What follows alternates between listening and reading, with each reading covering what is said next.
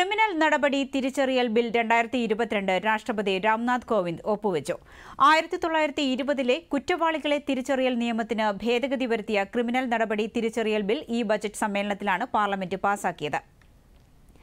കുറ്റവാളികളുടെ വിരലടയാളം ഐറിസിന്റെയും റെറ്റിനയുടെയും വിവരങ്ങൾ അടക്കം ശേഖരിക്കാൻ കൂടുതൽ അധികാരം നൽകുന്നതാണ് ക്രിമിനൽ നടപടി തിരിച്ചറിയൽ നിയമം രണ്ടായിരത്തി ഇരുപത്തിരണ്ട് ഡൽഹിയിലെ മൂന്ന് മുനിസിപ്പൽ കോർപ്പറേഷനെ സംയോജിപ്പിച്ച് ഒരു മുനിസിപ്പൽ കോർപ്പറേഷൻ ആക്കുന്നതിനുള്ള ഡൽഹി മുനിസിപ്പൽ കോർപ്പറേഷൻ ഭേദഗതി നിയമം രണ്ടായിരത്തി ഇരുപത്തിരണ്ടിലും രാഷ്ട്രപതി ഒപ്പുവച്ചു.